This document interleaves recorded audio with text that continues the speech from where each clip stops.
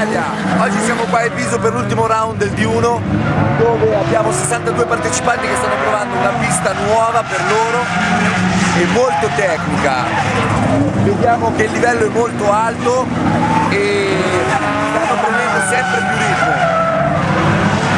Io penso che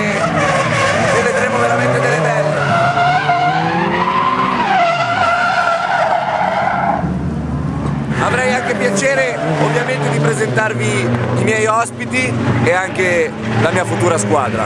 Cominciamo dalla leonessa, Monica Burigo, abbiamo il braccio destro di Manzin, il super Diego 40 detto anche il gommaro, abbiamo il dottore Franco e super Paolo.